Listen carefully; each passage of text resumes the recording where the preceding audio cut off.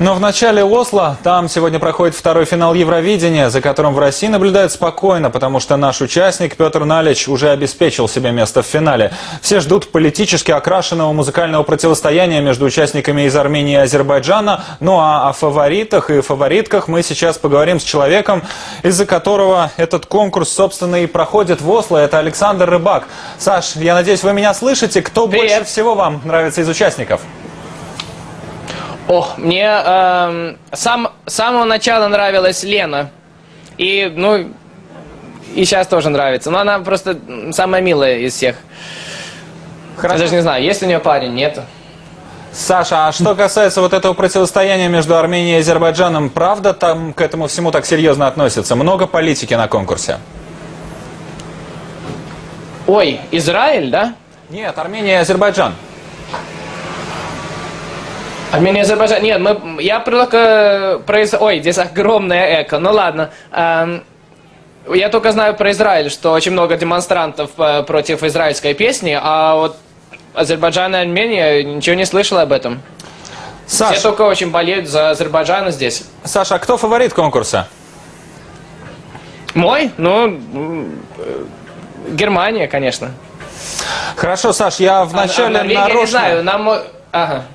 Я вначале, Саш, нарочно спросил, кто вам нравится из участников, потому что сегодня появилась странная новость, что якобы вы больше не скрываете, что вы гей. А, надеюсь, вас не обидел мой вопрос. Вы Что можете как-то прокомментировать эти слухи, что вы гей, что а, вы как бы исповедуете нетрадиционную ориентацию? Это, знаете что, это вообще-то довольно трудно, потому что э, сплетни, конечно, разные о мне. Например, в Греции я уже женат. Эм, в, в Швеции э, я нов- новый банд начал, рок-бенд, да. Э, а в России я уже гей. Ну ладно, интересно. Я знаешь, я могу тебе номер дать, не знаю, 20-30 девушек, которые тебе могут доказать, что я не... Ну ладно, потом, после, после эфира. Сейчас я буду смотреть полуфинал.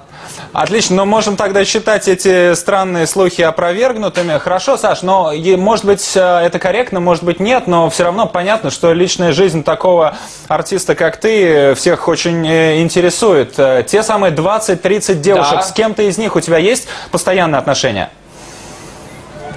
Ну, э, девушка только что меня покинула сейчас, так что я холостой. Но в первый раз в жизни я, хорошо, я холостой с хорошим самочувствием, потому что она меня покинула, а не я, понимаешь? И я все правильно сделал. Я очень так хорошо относился к ней, подарки дарил, песни пел. Так что очень, очень странное чувство, но я рад. Саша, А ты рад? А, Саш, ну, во всяком случае, можно за тебя порадоваться, потому что я думаю, что это признание, которое сейчас прозвучало, это хорошая новость в нашем выпуске для всех твоих поклонниц, раз они знают, что твое сердце Вот. свободно. Я правильно тебя понял? Грустная, но свободная. Так, как нам нравится, да. Хорошо, спасибо, Саша. Очень приятно с был- тобой пообщаться. Взаимно, взаимно. Это был Александр Рыбак из Осло, человек, благодаря которому Евровидение проходит именно в Норвегии. Он сегодня развеял сомнения многочисленных поклонников и поклонниц. А?